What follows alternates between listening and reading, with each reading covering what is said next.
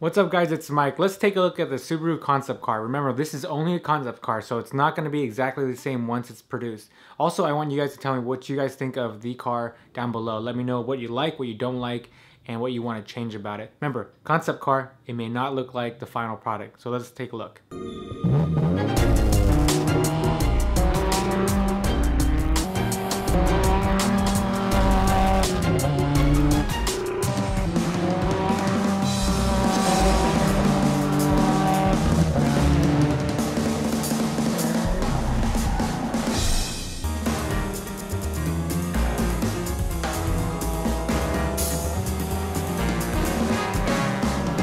Alright guys, and that was the promotional video from Subaru. You know, one thing I did notice was the Subaru did not sound like a Subaru at all, which was kind of weird.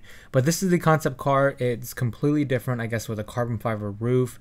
Um, supposed to be a lot lighter. I think 20 inch rims, really big brakes. It is a beast of a car but who says that this is going to be the car they're going to make? You know, concept cars are always really, really flashy, but when it comes to the actual production of the car, the company's looking for ways to cut costs and mass produce vehicles. Uh, this car looks pretty cool. It's a lot lower than the current Subaru, and the wheels are a lot bigger. It is a completely different look, almost a BRZ kind of type FRS kind of look right now. Really exotic. I kind of do like it. I know it's really different, but I'm excited to see what the new production will look like. There's no word on when this concept will be coming out, but I keep hearing the number 2014 over and over.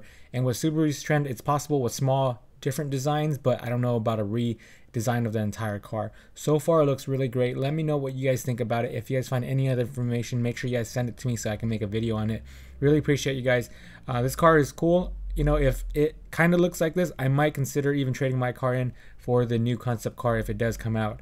But who knows uh, what will happen. But I'm really excited to see it. If you guys have any information, let me know. Thanks for watching, guys. Check out my other videos. Talk to you later.